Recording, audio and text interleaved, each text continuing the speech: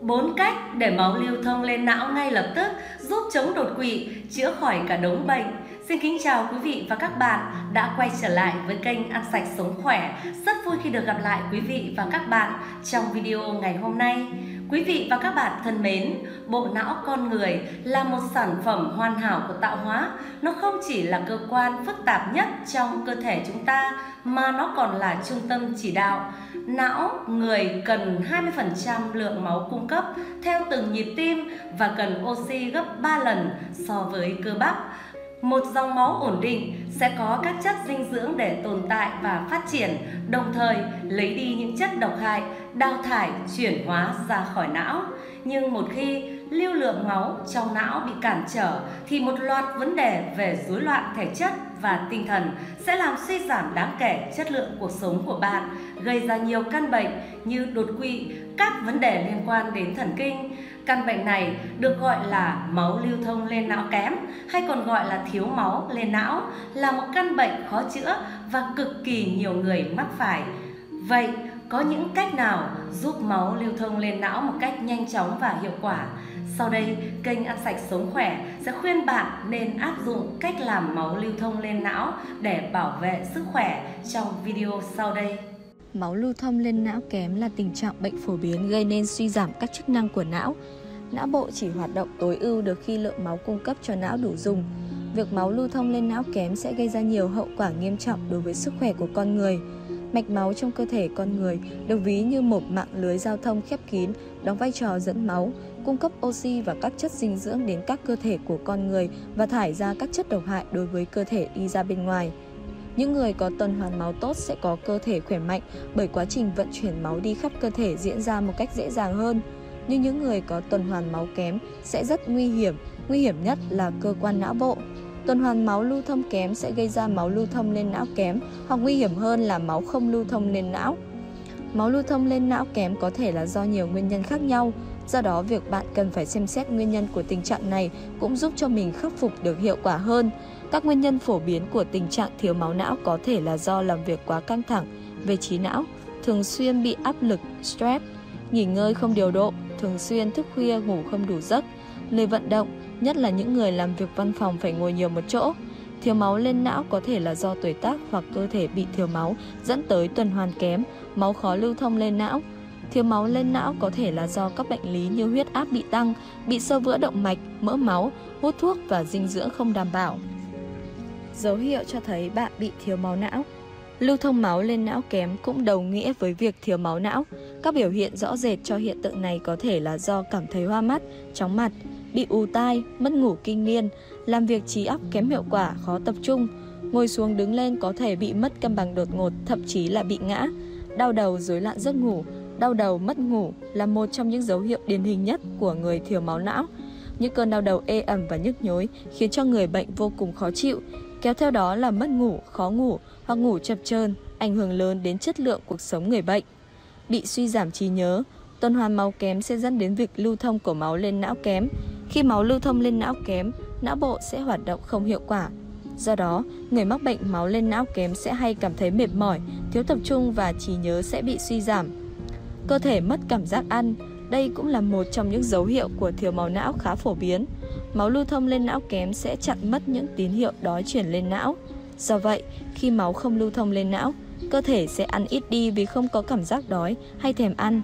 Chính vì thế, cân nặng cũng sẽ bị giảm sút.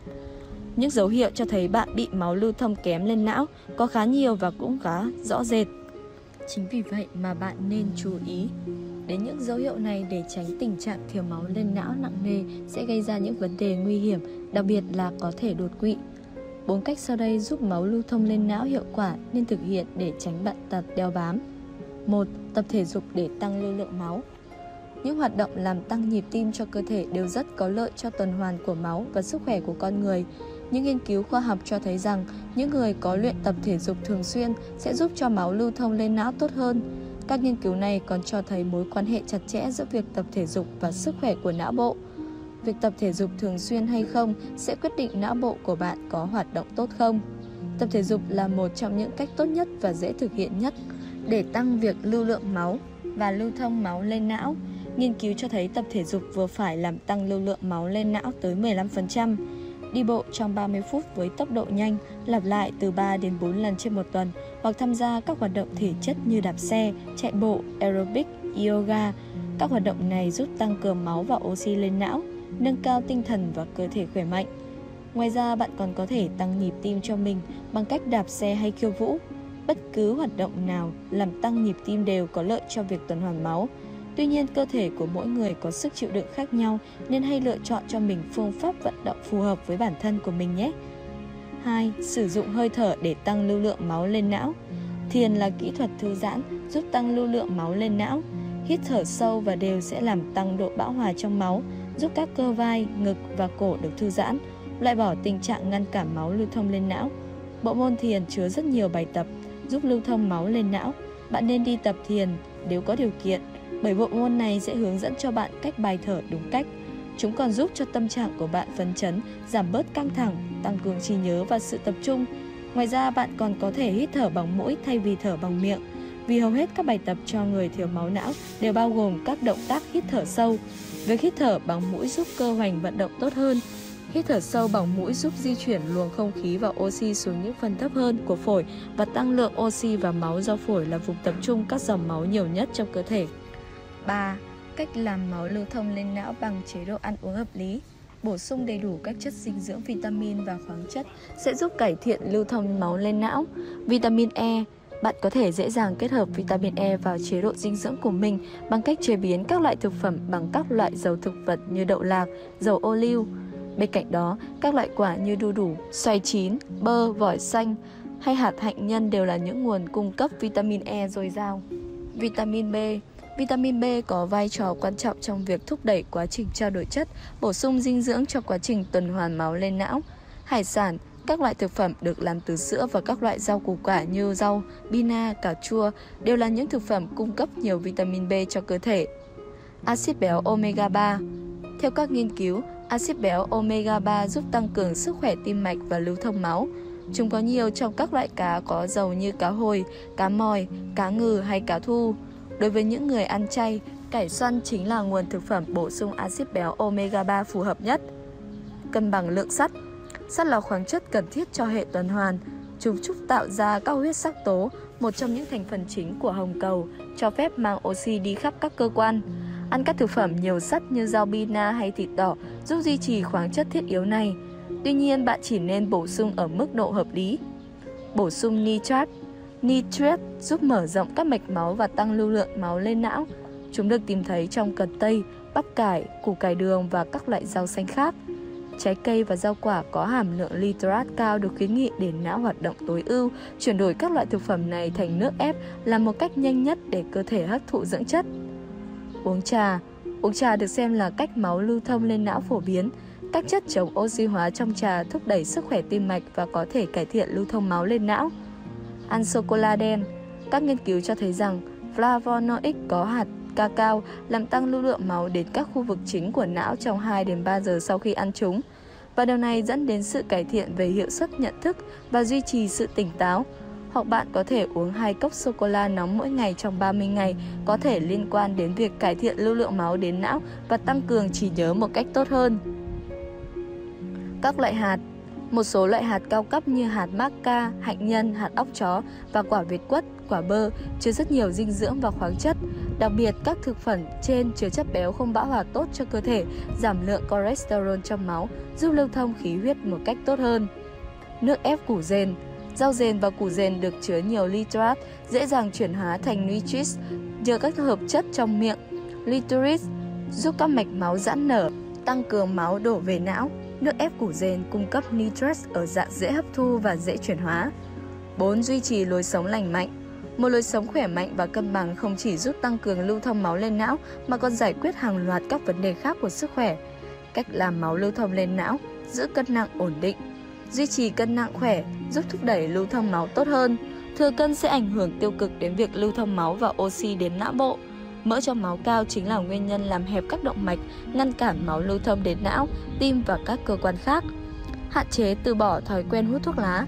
Nicotine có trong thuốc lá thông thường và cả trong thuốc lá điện tử làm hạn chế các động mạch, ngăn chặn lưu lượng máu đến não. Chúng làm giảm tới 17% sự hấp thụ oxy và lượng máu của não. Đặc biệt, hút thuốc còn liên quan đến đột quỵ và phình động mạch máu não. Lưu lượng máu khỏe mạnh rất quan trọng đối với não bộ và toàn cơ thể. Trên thực tế, nếu giữ cho các mạch máu khỏe mạnh, bạn không chỉ tránh được bệnh Alzheimer, mất trí nhớ, mà còn cả huyết áp cao, bệnh tim, đột quỵ và vô số vấn đề về sức khỏe khác. Cách phòng ngừa thiếu máu lên não Thiếu máu lên não có thể gây ra các triệu chứng ảnh hưởng trực tiếp tới sức khỏe của con người. Do đó, bạn cần chú ý đến những biện pháp phòng ngừa thiếu máu lên não dưới đây. Bổ sung dinh dưỡng đầy đủ giúp đảm bảo đủ lượng máu cung cấp cho cơ thể. Tránh thiếu máu sẽ gây ra tình trạng máu kém lưu thông lên não. Nghỉ ngơi điều độ, không thức khuya quá 11 giờ đêm, nên ngủ đủ giấc từ 7 đến 8 tiếng trên một ngày. Hạn chế tình trạng làm việc quá sức, gây áp lực, căng thẳng lên bộ não. Tập luyện thể thao thường xuyên để giúp giảm mệt mỏi, căng thẳng và điều hòa cơ thể. Hãy hạn chế sử dụng mỡ động vật, đồ ăn nhanh, các loại thực phẩm chế biến sẵn, đồ uống có cồn, rượu bia và chất kích thích. Phân bổ và sắp xếp thời gian hợp lý, giải tỏa căng thẳng, stress, tránh lo âu. Hãy khám sức khỏe định kỳ để kiểm tra tình trạng của cơ thể nhé. Quý vị và các bạn thân mến, thiếu máu lên não gây ra những tác động tiêu cực cho sức khỏe, tinh thần. Vì thế, hãy chú ý phòng ngừa để giúp cho sức khỏe được đảm bảo. Nếu bạn đang gặp phải tình trạng thiếu máu lên não, hãy áp dụng ngay 4 cách mà kênh Ăn Sạch Sống Khỏe vừa chia sẻ trên video. Những cách làm máu lưu thông lên não đó sẽ giúp cho bạn sớm khắc phục tình trạng này một cách hiệu quả. Áp dụng ngay các cách làm máu lưu thông lên não của kênh Ăn Sạch Sống Khỏe kết hợp với việc bổ sung các thực phẩm tốt có lợi cho sức khỏe sẽ giúp cho bạn có thêm nhiều năng lượng và góp phần đáng kể trong việc cải thiện tình trạng thiếu máu lên não. Cuối cùng, kênh Ăn Sạch Sống Khỏe xin được cảm ơn quý vị và các bạn đã quan tâm theo dõi. Mọi thắc mắc cần được giải đáp, quý vị và các bạn hãy để lại comment ở phía bên dưới video này để được các chuyên gia giải đáp. Xin kính chào, hẹn gặp lại quý vị các bạn trong video tiếp theo của chương trình.